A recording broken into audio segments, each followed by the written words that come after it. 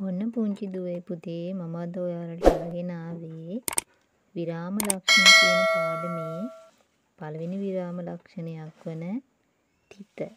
විරාම ලක්ෂණය ගැන ඔයාලට පොඩි හැඳින්වීමක් කරන්න.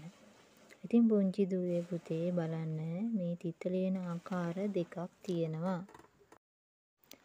පළවෙනි වාක්‍යය තමයි පුතේ වාක්‍යයක් අවසානයේ තිතය දීම.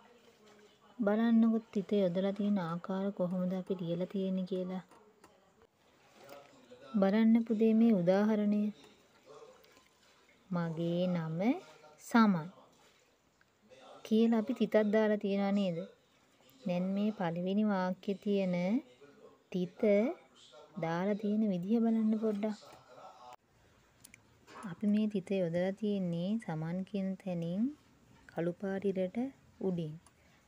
පුතේ ඒක වැරදි. ඒ විදිහට දාන්න බෑ. බලන්න යටරූලේ තියලා තියෙන වාක්‍ය රතු පාටින්. මගේ නම සමන්. අපි නැවතීමේ තිත දාලා තියෙන්නේ සමන් කියලා ලියලා තියෙන එකේ නයන්නට යටින්. ඒක තමයි හරි විදිය. ඔන්න උඩ විදිය වැරදි. යට ලියලා තියෙන ආකාරය තමයි හරි. අපි තව තිත යොදලා තියෙන උදාහරණ ටිකක් බලමු පුතේ. අම්මා කඩේට ගියාය. ඔන්න නැවතීමේ තිත තියලා තියෙනවා. දෙවෙනි වාක්‍යය බලන්න. බල්ලා බුරයි. එතනත් අපි නැවතීමේ තිත තියලා තියෙන්නේ. තුන්වෙනි වාක්‍යය බලන්න. මම පාසලට යමි. යමි කියලා නතර කරලා තියෙන තැන තිතක් තියලා. දෙවන ක්‍රමේ තමයි පුතේ අපි යම්කිසි නමක් කෙටි කර දැක්වීමේදී නැවතීමේ තිත යොදා ගනු ලබනවා. බලමු පොඩ්ඩක් අපි එහෙම දාපු වාක්‍ය ටිකක්. K A C Bandara.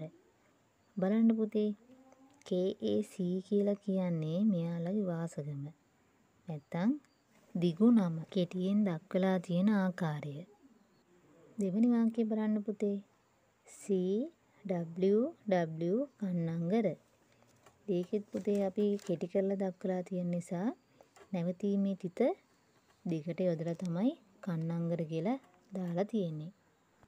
තුන්වෙනි වාක්‍යය බලන්න. JR ජයවර්ධන. එතකොට J කියලා තියෙන තැන නැවතීමේ තිත තියලා තියෙනවා. R කියලා තියෙන තැනත් අපි නැවතීමේ තිත තියලා තමයි ජයවර්ධන කියලා ලියලා තියෙන්නේ. ඒ කියන්නේ JR කියලා කියන්නේ මෙයාගේ දිගු නම කෙටි කරලා අපි දක්වලා තියෙන්නේ. ඒ විදිහට තමයි පුතේ නැවතීමේ තිත යොදන්නේ. අපි මේ වාක්‍ය ටික බලමු පුතේ. බුද්ධ වර්ෂ. බුද්ධ වර්ෂ කියලා තියෙන එක කෙටි කරලා තමයි අපි බූ නැවතීමේ තිත ව දාලා තියෙන්නේ.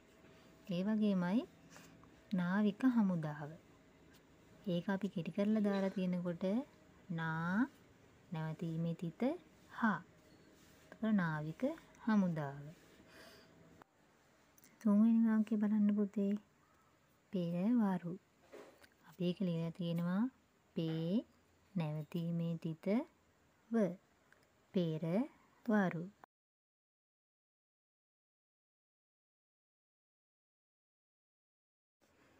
තවත් මෙවැනි වීඩියෝ නැරඹීමට නොලේට් ප්ලස් අපගේ YouTube channel සබස්ක්‍රයිබ් කරන්න.